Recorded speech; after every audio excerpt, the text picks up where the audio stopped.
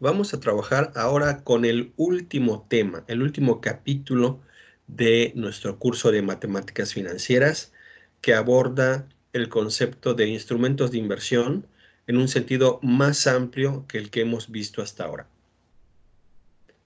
Como recordarán, en la mayor parte de nuestro curso platicamos acerca de créditos y de inversiones que tienen que ver con los bancos. Sobre eso, por ejemplo, calculamos eh, el interés que se generaba por cierto instrumento o calculamos em, cuál era la anualidad que había que pagar para cubrir un crédito, en fin. Y solo en el tema anterior, en el video anterior a este, platicamos de otro tipo de inversión, que era la inversión física, es decir, la inversión en empresas.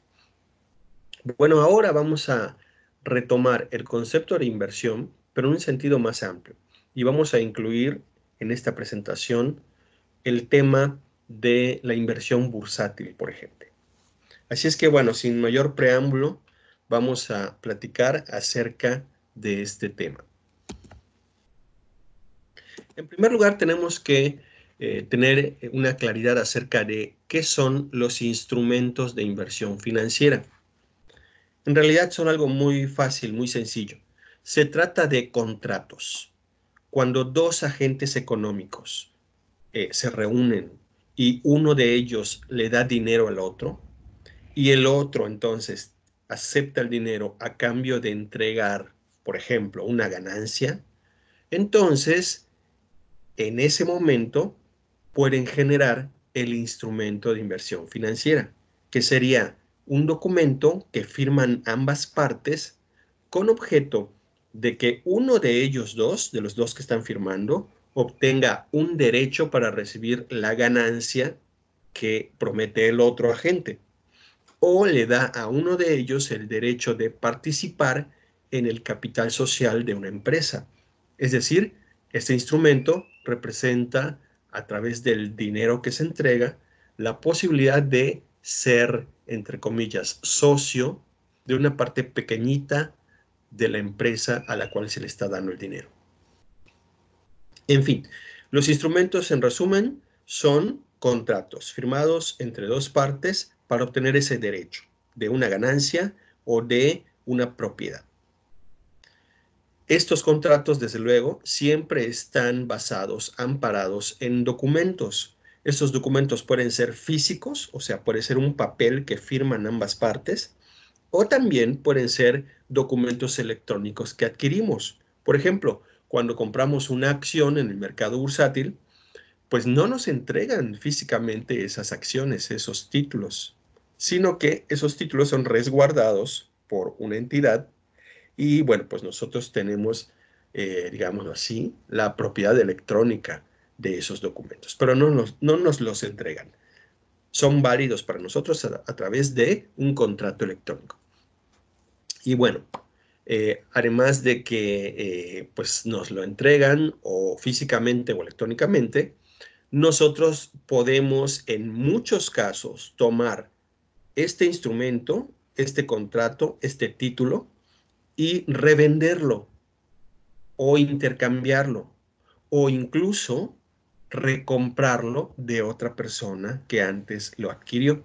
O sea, muchos de estos instrumentos de inversión financiera tienen la posibilidad de intercambiarse. Y esto es una ventaja muy importante de estos eh, tipos de instrumentos que luego les voy a platicar. Es decir, hay que aclarar, no todos los instrumentos de inversión financiera se pueden intercambiar. Los bancarios, por ejemplo, es decir, el contrato de inversión, pues no, es solo lo que firmamos con el banco.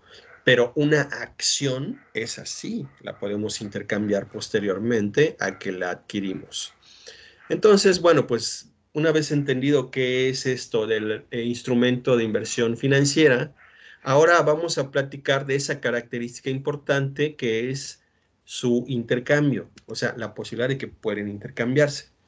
Bien, repasando, tengo un agente económico que puede ser un ahorrador, un inversor o incluso un banco, una casa de bolsa, un fondo de inversión. O sea, tengo un agente económico que tiene dinero y hay otro agente económico que lo va a requerir. Entonces, de mutuo acuerdo, celebramos el contrato, que es el instrumento de inversión financiera, con objeto de que damos dinero a cambio de recibir, por ejemplo, un interés, un dividendo, un rédito, una ganancia, un premio o lo que se acuerde. Resulta que una vez que lo firmamos y ya tengo yo el papelito, por ejemplo, entonces lo que puedo hacer es irme con un tercer agente y revendérselo.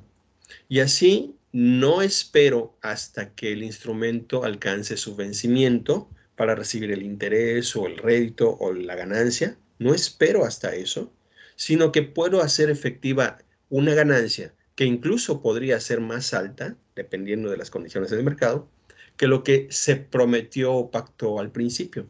Es decir, en este intercambio de algunos de estos instrumentos, que por cierto, esos que se pueden intercambiar se conocen como valores, entonces realizamos o digamos hacemos efectiva antes del vencimiento la ganancia.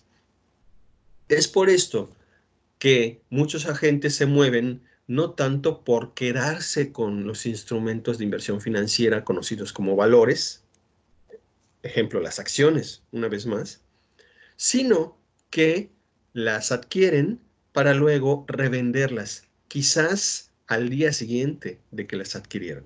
Porque lo que están buscando los agentes económicos que están participando aquí en este intercambio es la ganancia lo antes posible. Y es así como debido a que hay agentes que quieren revender y otros que quieren recomprar los instrumentos financieros, entonces aparecen los mercados de este tipo de instrumentos en los que se compran y venden de segunda mano, por decirlo de algún modo. Es decir, se llaman mercados secundarios. Bueno, hay dos tipos básicos de mercados para estos instrumentos financieros. El primero se llama mercado de dinero. En el mercado de dinero se pactan o se eh, intercambian instrumentos de corto plazo, es decir, menores de un año, como se considera el corto plazo en el ámbito contable y financiero. Y además de que son de corto plazo, estos instrumentos del mercado de dinero ya establecen desde que se firman cuánto es lo que se va a pagar, es decir, cuánto va a ganar la persona que lo está adquiriendo. A estos instrumentos se les llama eh, mercado de dinero.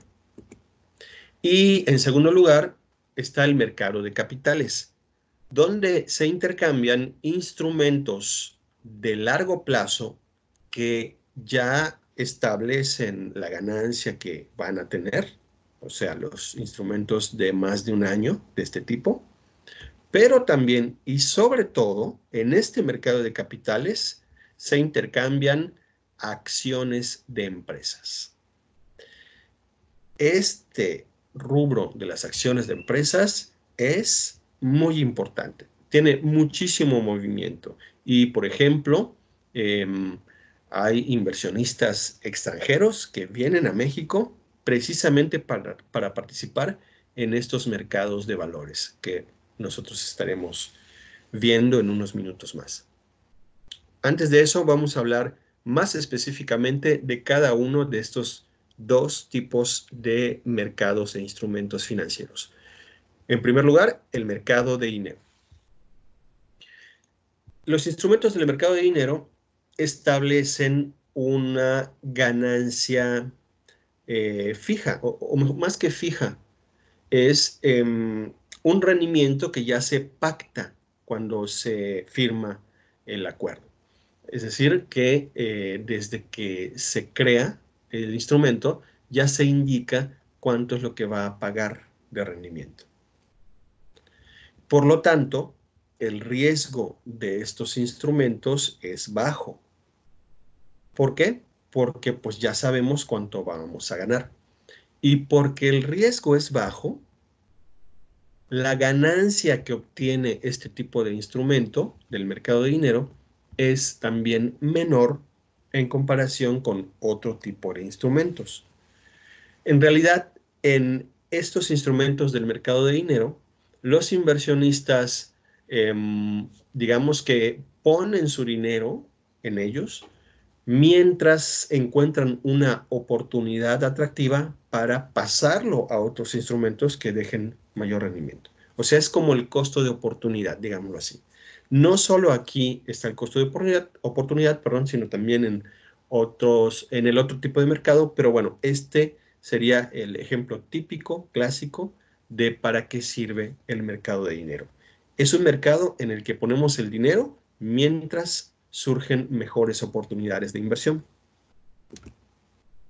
Ejemplos de los instrumentos, ya los hemos revisado en otras clases sin que los hubiéramos catalogado como mercado de dinero. Son, por ejemplo, los depósitos bancarios, o sea, las cuentas que abrimos con el banco y que nos ofrecen pagarnos cierto rendimiento. También el papel comercial de empresas privadas productivas, y sobre todo están los bonos gubernamentales, es decir, los instrumentos que emite el gobierno mexicano, el gobierno federal mexicano principalmente, para poder hacerse de dinero, a cambio, como ya dijimos, de un premio. Los bonos son, los más conocidos en nuestro país son los CETES, pero también están los bonos de desarrollo o bondes, los UDI bonos y otros.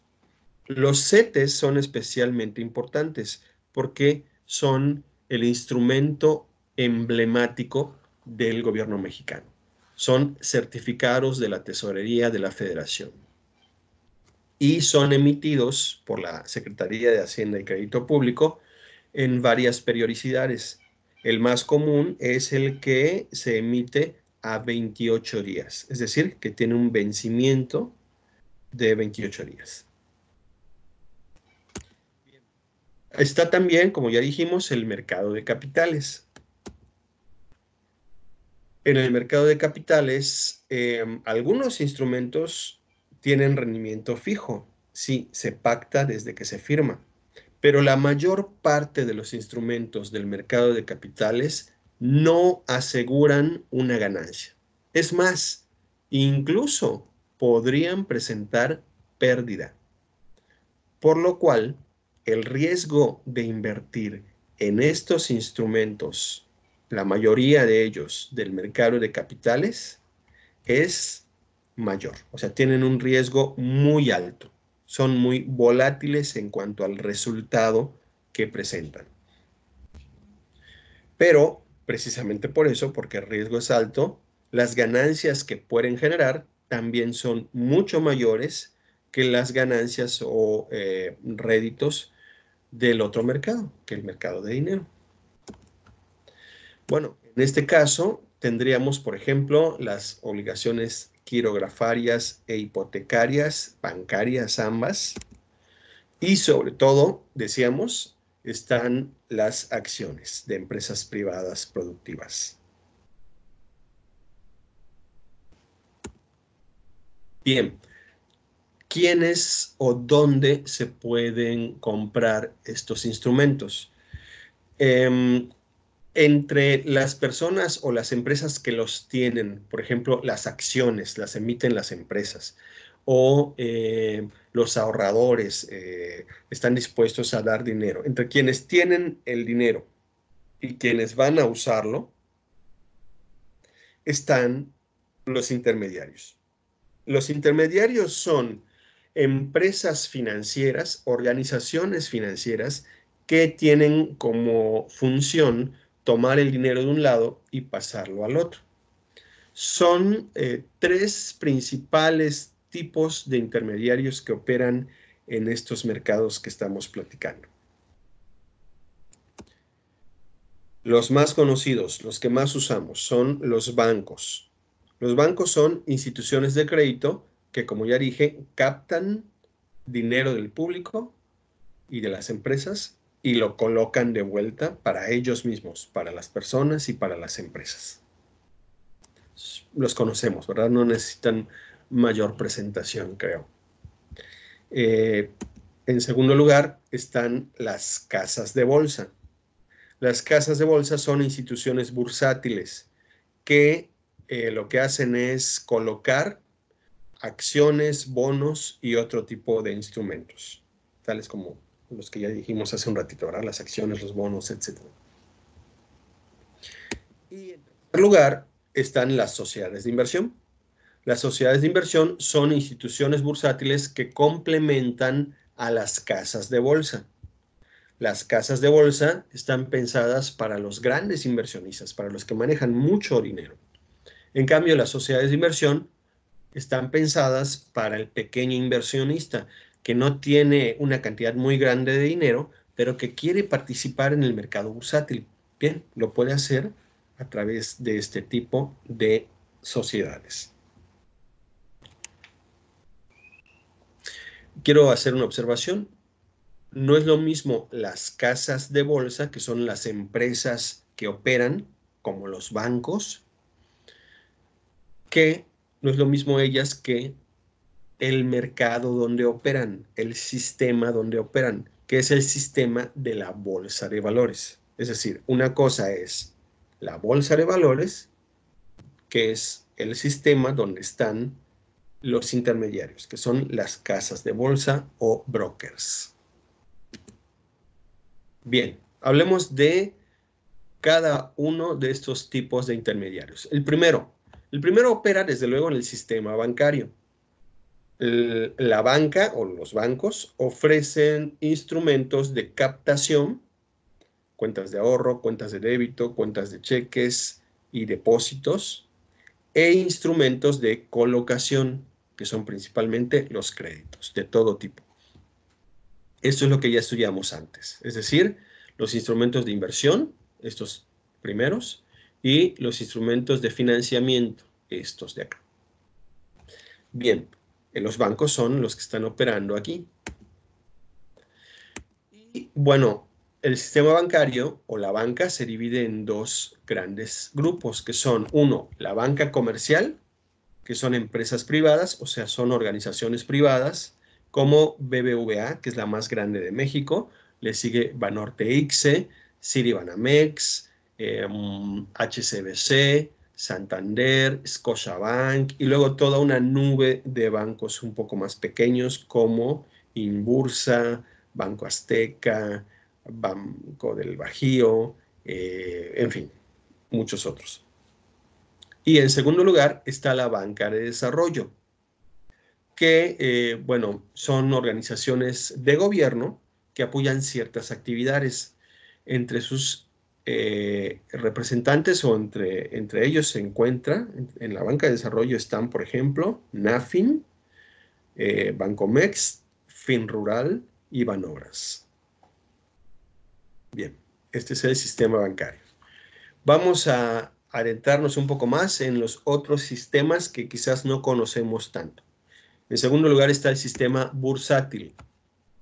Bien, cuando el gobierno o las empresas privadas como eh, Bimbo, como Cemex, eh, desean emitir acciones, en el caso de las empresas, o bonos, en el caso del gobierno, lo hacen a través de los intermediarios bursátiles, o sea, de las casas de bolsa. Lo que van a hacer las casas de bolsa es tomar las acciones y los bonos que emiten las empresas y el gobierno para hacérselos llegar a los ahorradores y los inversionistas que quieren adquirirlos.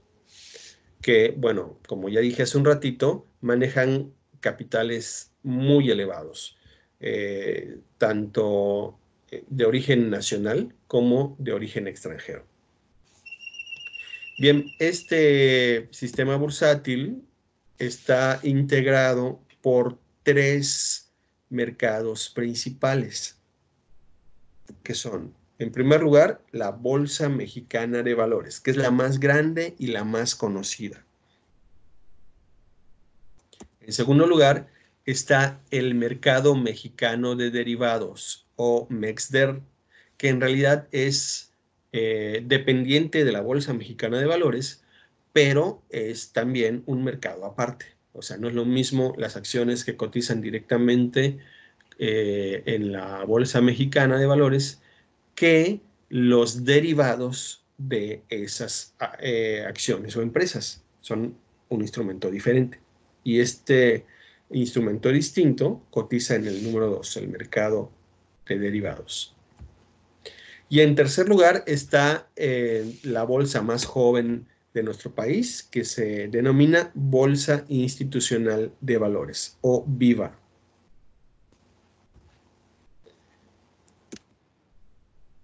Y junto con el sistema bursátil, complementando al sistema bursátil, a las casas de bolsa que lo integran, están las sociedades de inversión.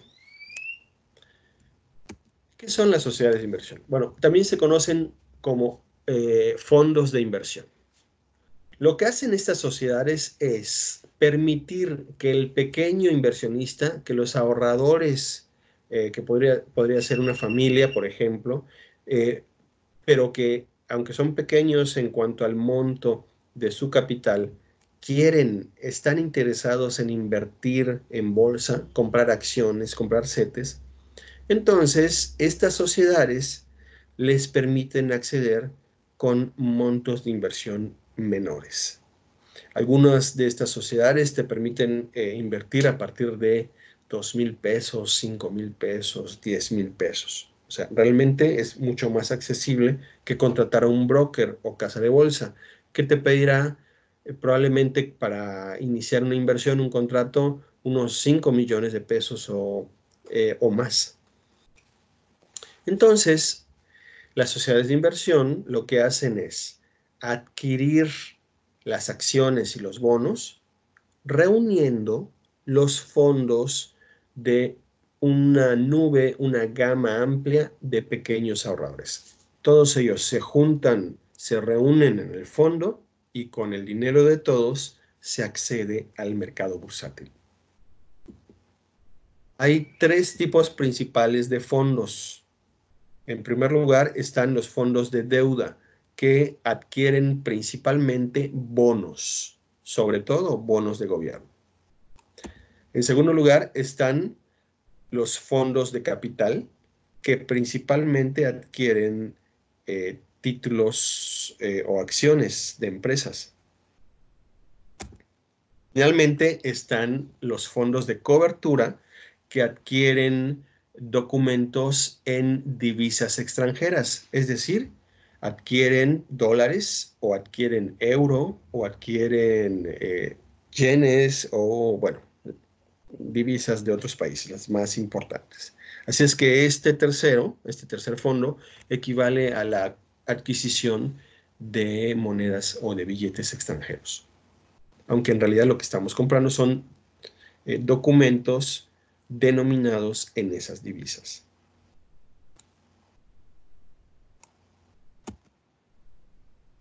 Bien, si están interesados en el tema de la inversión bursátil, es muy, muy recomendable que antes de entrar ahí, se informen. Es decir, que estudien, revisen, eh, conozcan cómo se mueve el mercado bursátil, qué tipos de acciones o de bonos pueden adquirir, cuándo es el momento correcto para comprarlos y cuándo es el momento adecuado para venderlos.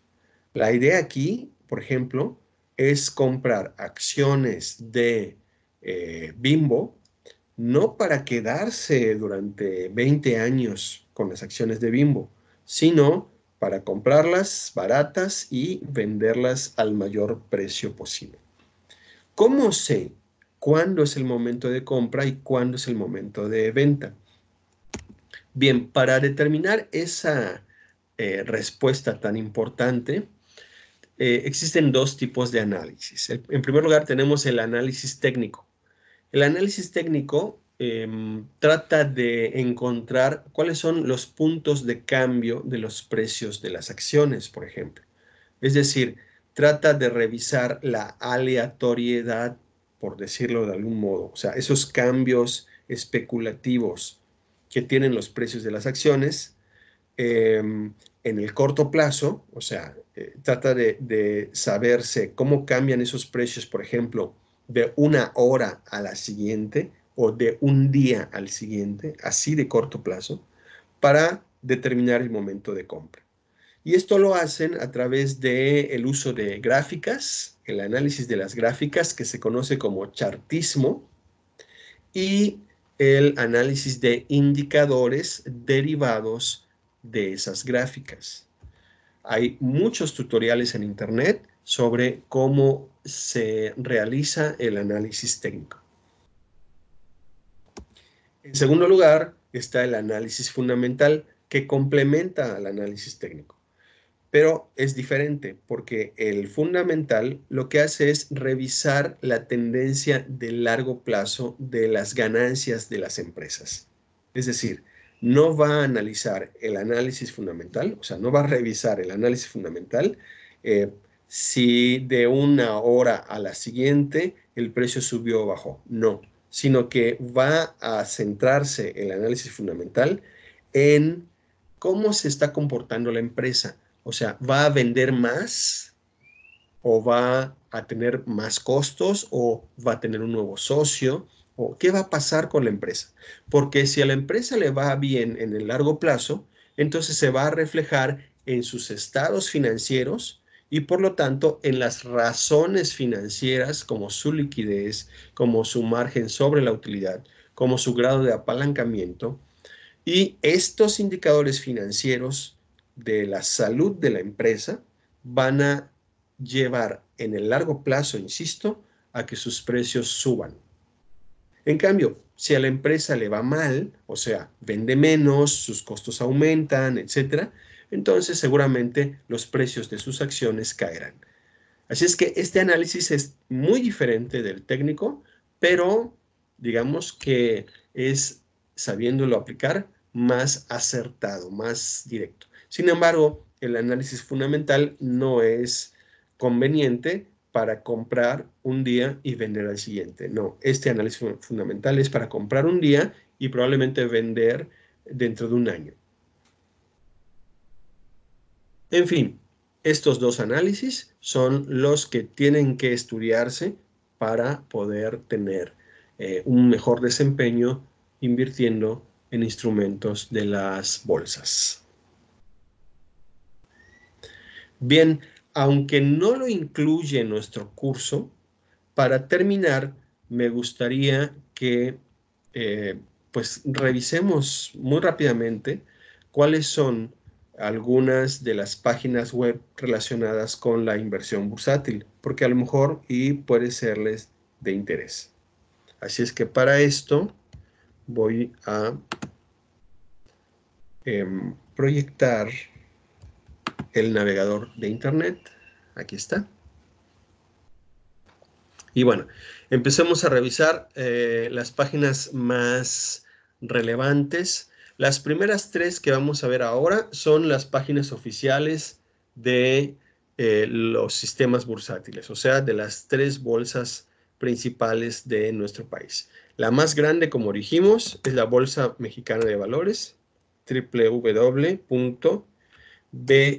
mv de Bolsa Mexicana de Valores.com.mx. Esta eh, página es más para conocer cómo funciona la bolsa, qué empresas operan, tipos de acciones que cotizan, cómo se integra el índice de precios y cotizaciones, que es el indicador principal de la bolsa, que agrupa a eh, las 30 a 35 empresas más importantes, más bursátiles de nuestro país. Y en fin, o sea, conocer los detalles de eh, cómo eh, opera, en qué consiste la Bolsa Mexicana de Valores. En segundo lugar, revisemos la página del MEXDER, o sea, el mercado mexicano de derivados. www.mexder.com.mx. Aquí está.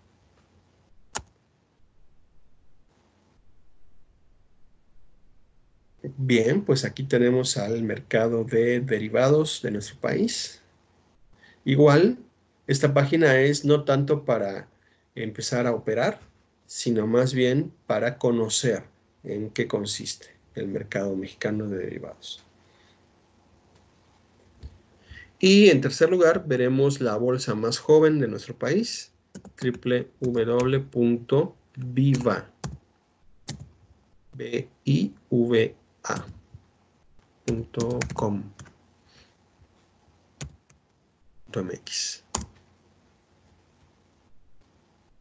Perdón, es sin el MX, es solo .com.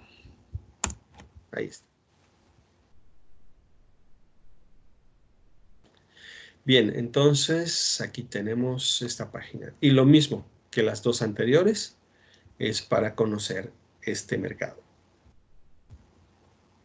Ahora bien, si ustedes quieren empezar a aprender o más bien a aplicar análisis técnico y un poquito de análisis fundamental, la información correspondiente no la van a encontrar aquí en estas tres que ya visitamos, sino las vamos a encontrar, todos esos datos los vamos a encontrar en portales especializados en finanzas y en bolsa les propongo dos portales, dos páginas que me parecen las mejores gratuitas en ese sentido y con muchas herramientas.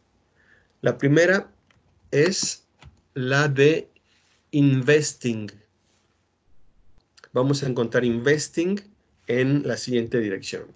mx.investing.com Ahí está, mx.investing.com. Bien, esta es eh, la página con, eh, digamos, especializada para México de esta plataforma mundial. Nos ofrece muchísima información, no solo del mercado mexicano, sino de todo el mundo. Aquí arriba en el menú, por ejemplo, vemos los mercados, Em, empezando por el Forex, o sea, el de divisas, materias primas, aquí están los commodities, los principales índices del mundo, las acciones que se cotizan, los ETFs, eh, e em, que son, se están poniendo de moda, los fondos de inversión, bonos, las criptomonedas y certificados. O sea, está bastante completa esta página.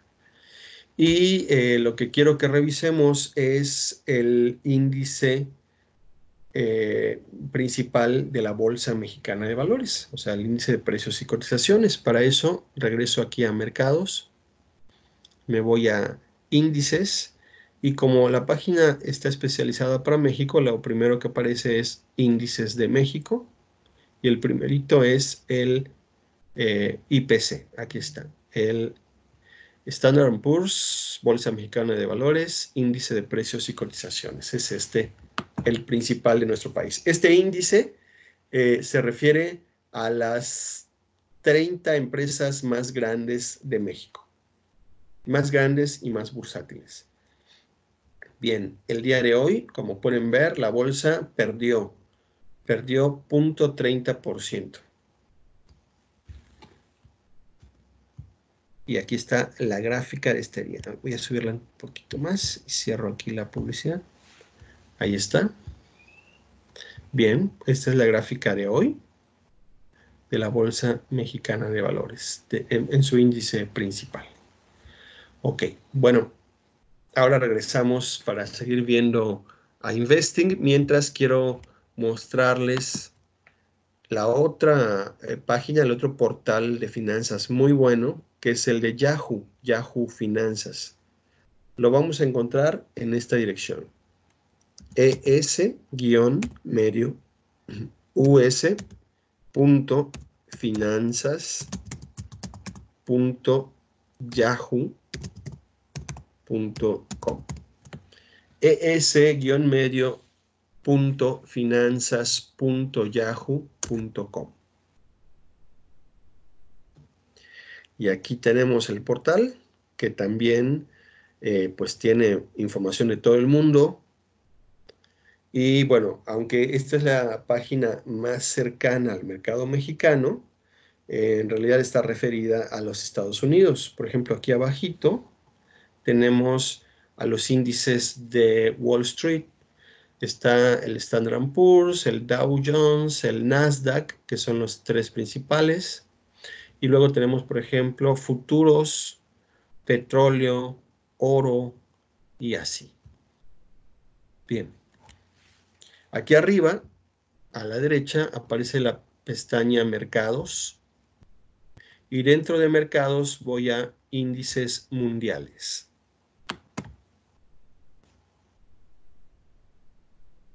Dentro de los índices mundiales, el primero que, que me aparece aquí en la lista es el índice de precios y cotizaciones de México. Aquí aparece su clave de pizarra, aquí está, que es el acento circunflejo MXX en mayúsculas.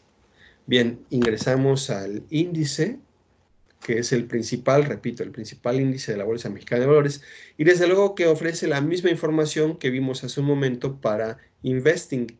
Es decir, aquí está el cierre de la bolsa de hoy. Eh, tuvo una pérdida de 0.30% el índice y aquí está la gráfica. La gráfica se puede presentar en el día de hoy, o sea, la gráfica del día de hoy, pero también de los últimos cinco días, aquí está, o del último mes, como pueden ver, ha estado perdiendo la bolsa debido a esta crisis que estamos viviendo. Los últimos seis meses Aquí, venía la bolsa al alza y pues al empezar la pandemia o antes incluso de que empiece la pandemia, el índice de nuestra bolsa se cayó. Ok, eh, un año, cinco años y así. O sea, pueden revisar la información. Esto es parte, esta revisión que, que estoy empezando a mostrarles es parte de lo que hace, por ejemplo, el análisis técnico. O sea, se pone a analizar los gráficos, claro, con ciertas herramientas. Eh, el índice, les decía yo, reúne a las empresas más bursátiles del mercado bursátil mexicano. ¿Cuáles son? Bueno, aquí en Yahoo Finanzas nos vamos a componentes, este menú. Y dentro de componentes vemos a las acciones que integran al índice de precios y cotizaciones. Están, por ejemplo, solo mencionaré algunas, eh, Azur, América Móvil, que posee a Telcel, eh, Bambajío, Grupo Carso, Bimbo, Grupo México, Alsea, Cemex, Televisa, eh, Banorte, em, en fin, bueno, pues aquí ustedes pueden revisar cuáles son las más bursátiles. ¿Por qué, por qué eh, insisto en las más bursátiles? Bueno, porque ellas, estos, estas acciones que son, ya dijimos, títulos o instrumentos, son los que más se compran y se venden. Así es que si ustedes adquieren uno de estos, tienen la garantía de que pueden revenderlo y alguien va a estar interesado en comprárselos. Así es que, bueno, pues si compramos estos, tenemos un mercado muy dinámico para revender después. Bien, de todas las acciones que integran a este mercado, la más bursátil, la que tiene más movimiento es América Móvil. Así es que pueden empezar analizando a esta empresa. Bien.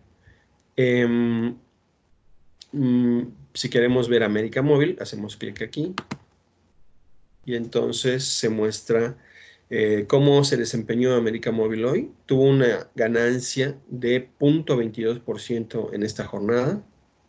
¿Ok? Aquí están los datos más concretos, es decir, abrió con un precio por acción de 13 pesos con 84 centavos.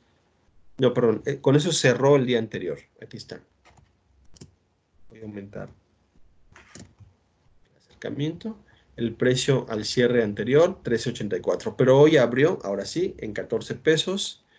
Este es el eh, volumen de oferta. O sea, todos estos títulos se ofertaron todos estos títulos se demandaron. Aquí estuvo el máximo y el mínimo de los precios de esta jornada. Y así, o sea, ustedes pueden ver información más detallada de esa acción. La clave de pizarra de América Móvil es AMXL. AMXL. Bien. Me regreso a Investing ya para terminar. Y bueno, supongamos que queremos analizar ya técnicamente a América Móvil. Bien, entonces lo que voy a hacer primero es encontrar América Móvil. Aquí arriba está la opción de búsqueda. Y bueno, pues solo, solamente es recordar su clave. Es lo más rápido. AMXL y nos lleva a América Móvil. Si no recuerdan cuál es la clave de pizarra, pues ponen el nombre. América Móvil. Y entonces, bueno, pues les va a dar el dato más aproximado. Aquí está, es AMXL como vimos hace un ratito. Entonces selecciono la acción que voy a analizar técnicamente. Aquí está la misma información que vimos en Yahoo Finanzas. Es decir, América Móvil presentó una ganancia hoy de 0.65%. Aquí está su gráfica es esta. Y vamos a hacer análisis técnico. Bueno, para hacer el análisis técnico, voy a irme al gráfico técnico.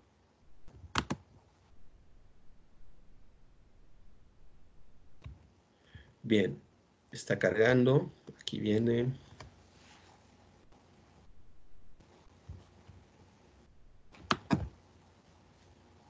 Bien, vamos a em, proyectarlo a toda la pantalla. Aquí está, para que se aprecie mejor. Y bien, bueno, ese fue el comportamiento de América Móvil el día de hoy, eh, a, un día. Se supone eh, en el análisis técnico que vamos a encontrar siempre este tipo de tendencias que pueden encerrarse así. Primero estoy poniendo solo la línea de los picos y los valles del precio de hoy y voy a colocar una línea de esta manera. Voy a dibujar una línea. Dibujo la línea en los puntos más bajos del precio. Ahí está. Bueno, un poquito más arriba. Ahí está. Bien. Ahí está. El análisis técnico se basa en que los precios siguen cierta tendencia de corto plazo. Y como podemos ver, la tendencia es esta línea que dibujé en los puntos menores. Es decir, los precios van rebotando en este piso, así funcionaría esta línea, como una especie de piso para el precio del día de hoy.